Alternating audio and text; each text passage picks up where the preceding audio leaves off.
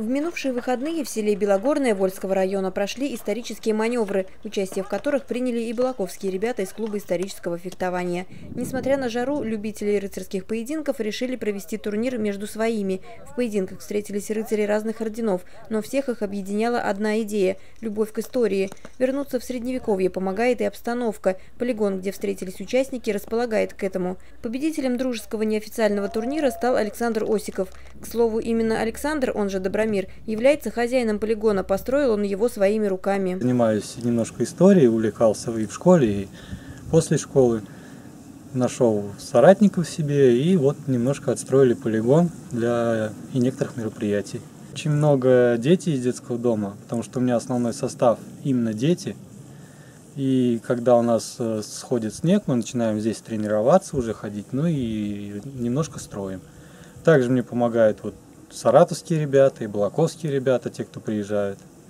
На полигоне есть э, два вида осадной техники. Это трибушет на 14-15 век, ну и таран для разбития ворот. Э, самое основное строение это находится вот крепость, в которой мы стоим сейчас. Ну и как, как мы ее называем между нами, это таверня, где можно приготовить покушать, посидеть в теньке. Ну и далеко не родник находится тоже.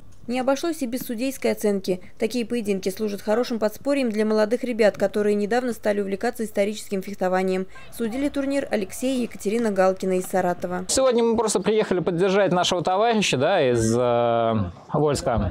А, дело в том, что в области все это развивать достаточно тяжело, и как бы ему требуется помощь более опытных товарищей. Да. Вот мы уже второй раз сюда приезжаем поддерживать его. У него здесь очень неплохая, интересная локация. Да, вот вы можете видеть э, крепость. Они построили трибушет, мантилеты. Это все очень энергозатратно. И, конечно, э, на чистом энтузиазме все это делается. Поэтому мы его поддерживаем как можем. Вот что умеем, тем мы помогаем. Мы хорошо разбираемся в турнирной тематике. Поэтому мы сегодня провели здесь такой турнир среди представителей его клуба, ну и нашей молодежи саратовской, которую мы сюда привезли. Балаковцы принимавшие участие в турнире, остались довольны встречей, назвав это хорошим опытом. В турнире участвовали два сильных бойца, чемпион России неоднократный Алексей Галкин, э, победитель Кубка Донжона Сотов. И поучаствовать в боях с такими бойцами всегда очень полезно для любого спортсмена. Ну и, в принципе, э, саратовская команда, многие из них – Э, бойцы с многолетним опытом, по 5-10, по 15 лет. Э, естественно, участвовать в турнире с такими противниками всегда интересно и полезно для развития. Завершился первый день фестиваля самым ожидаемым событием – маневрами, во время которых все участники, разделившись на команды, штурмовали крепость по всем правилам старого времени.